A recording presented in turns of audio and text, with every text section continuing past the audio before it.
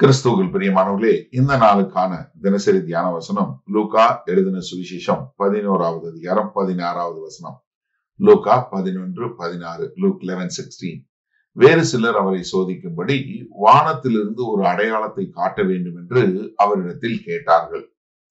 இப்ப கர்த்தராகி இயேசு கிறிஸ்து அவங்க கண்களுக்கு முன்பாக ஒரு பேச முடியாத ஒரு காது கேட்காத பிசாசு பிடிச்சிருந்த ஒரு ப- ஒரு ஆளை விடுதலை பண்ணி அவங்க முன்பாக அவர் பேசக்கூடியதாக கேட்கக்கூடியதாக ஒரு காரியம் நடைபெறுகிறது. நிறைய பேர் பயங்கரமா ஆச்சரியப்படுறாங்க.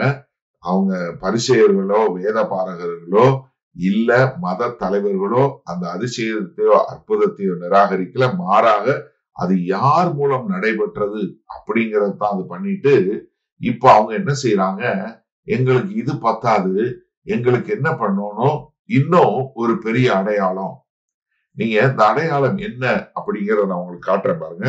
மத்திய பன்னிரெண்டாவது அதிகாரத்துல முப்பத்தி எட்டாவது வசனம் அப்பொழுது வேத பாரகரிலும் பரிசேயரிலும் சிலர் அவரை நோக்கி போதகரே உம்மால் ஒரு அடையாளத்தை காண விரும்புகிறோம் என்றார்கள். இப்ப மத்திய பதினாறுல முதலாவது வசனம் பரிசேயர் சதுசேயர். அங்க யாரு? வேத பாரகர். அப்ப பரிசேயர் சதுசேயர் வேத பாரகர் அவரை சோதிக்கும்படி ஓரிடத்தில் வந்து வானத்திலிருந்து ஒரு அடையாளத்தை தங்களுக்கு காண்பிக்க வேண்டும் என்று கேட்டார்கள். யாரு? வேதபாரகர் பரிசெயர் சதுசேயர். இதே மார்க் எட்டாவது அதிகாரம் பதினோராவது வசனத்துல பார்க்கணும். அப்பொழுது பரிசெயர் வந்து அவரோட தர்க்கிக்க தொடங்கி என்ன? அவர் இந்த மூணு மத தலைவர்கள் வந்து அவரோட தர்க்கிக்கிறாங்க. அவரை சோதிக்கும்படி என்ன கேட்கிறாங்க அவரை சோதிக்கும்படி வானத்திலிருந்து ஒரு அடையாளத்தை காண்பிக்க வேண்டும் என்று கேட்டார்கள். இப்ப வானத்திலிருந்து ஒரு அடையாளம் அப்படின்னா என்னன்னா நட்சத்திரங்களை மாத்தி அமைங்க. இல்ல அந்த வானத்துல நாங்க பார்க்கக்கூடிய சில காரியங்களை மாற்றுங்க. யோசிச்சு பாருங்களேன். அதாவது அவங்க கண்களுக்கு முன்பாக அவங்க ஊர்ல தினசரி இருக்கக்கூடிய ஒரு வாய் பேசாத ஒரு காது கேட்காத ஒரு ஊமையனை குணப்படுத்துறாரு. இப்ப அவங்க என்ன கேட்டிருக்கணும்? அவர் சோதிக்கும்படி இன்னும் மோசமான ஒரு சீக்காளியை கொண்டு வந்து கேட்டிருக்கலாம். இல்ல அப்படியே அவங்க இன்னும் வந்து உண்மையிலே அவங்களுக்கு வந்து இவர் மேல விசுவாசம் வைக்கணும்.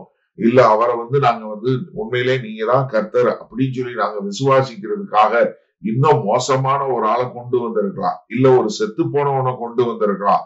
இல்ல மோசமான நோய் உள்ளவனை கொண்டு வந்து நீங்க குணப்படுத்துங்கன்னு சொல்லியிருக்கலாம். மாறாக என்ன கேட்கிறாங்க வானத்துல நட்சத்திரங்களை மாத்தி அமைங்க. இல்ல வானத்துல எதையாவது ஒண்ண பண்ணுங்க அப்படின்னு சொல்றதுனால யாருக்கு என்ன பிரயோஜனம்? அப்ப என்ன? அவர்கள் நாங்களும் ஒன்ன காட்டிலும் பெரியவர்கள் என்று காட்ட விரும்புகிறார்களே தவிர கர்த்தராகிய இயேசு கிறிஸ்து மன உருக்கத்தோடு ஒரு பிசாசு பிடித்திருந்தவனை விடுதலை பண்ணினத அவர்கள் விரும்பவில்லை. அவங்கள பொறுத்தளவுக்கு யாரு பெரியவங்க எங்களால என்ன செய்ய முடியும் உன்னால என்ன செய்ய முடியும் என்பதை காட்ட விரும்புறாங்களே ஒழிய மக்களுக்கு உதவி செய்வதாக இல்லை. சரி இந்த நாள்ல இந்த வசனத்தை நம்ம எப்படி எடுத்துக்கொள்ள முடியும்? சிலர் தர்க்கம் பண்ணக்கூடியவங்க சோதிக்க வேண்டும் என்பதற்காகவே வருவாங்க உங்ககிட்டயும் வருவாங்க என்கிட்டயும் வர்றாங்க வந்து கொண்டுதான் இருப்பாங்க.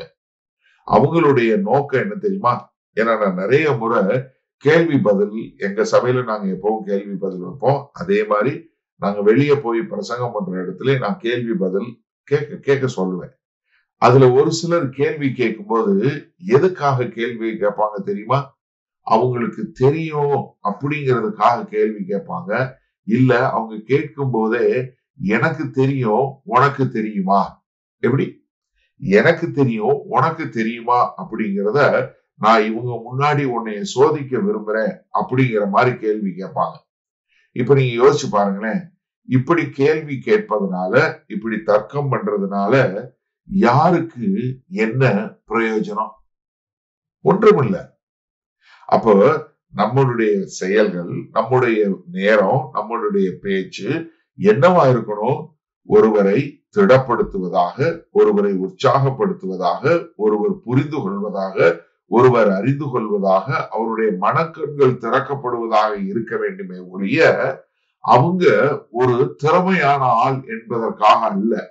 ஏன்னா இப்ப சில போதகர்களும் போதிக்கும் போது பாத்தீங்கன்னா அவங்களுக்கு அவங்களுடைய செய்திகளை கேட்கும்போது அப்பா இவர் ரொம்ப படிச்சவர் இவர் ரொம்ப புத்திசாலி இவர் ரொம்ப புத்தி கூர்மையானவர் அப்படின்னு நீங்க நினைக்கிறபடி ஒருத்தர் செஞ்சாருன்னா பாவம். அது தவறான காரியம். ஏன்னா என்ன தெரிய வேண்டும்? கர்த்தராகிய இயேசு கிறிஸ்து வெளிப்பட வேண்டும். நம்ம மண்பாண்டங்கள் பொக்கிஷம் கிறிஸ்து. இப்போ நீங்க இயேசு கிறிஸ்துவ விசுவாசிக்கிறீங்களா? இல்ல நீங்களும் இன்னும் எனக்கு ஏதாவது ஒரு அடையாளம் வேண்டும் என்று சோதிக்கிறவர்களாக இருக்கிறீர்களா? பல பிதாவே இந்த செய்தியை கேட்டுக்கொண்டிருக்கிற ஒவ்வொரு சகோதரனும் சகோதரியும் உம்மை சோதிக்கிறவர்களாக அல்ல. விசுவாசித்து நித்திய ஜீவனை பெற்றுக்கொண்டு உமக்கென்று வாழுகிறவர்களாய் வாழ எங்கள் தேவன் இவர்களுக்கு இரக்கமும் கிருபையும் பாராட்ட வேண்டுமாய் இயேசு கிறிஸ்துவின் உன்னத நாமத்தினால் ஆசீர்வதிக்கிறோம். வல்ல பிதாவே ஆமேன். கர்த்தர் உங்களை ஆசீர்வதிப்பாராக. நாம் இன்று மாலை மாலை மணாவில் சந்திப்போம்.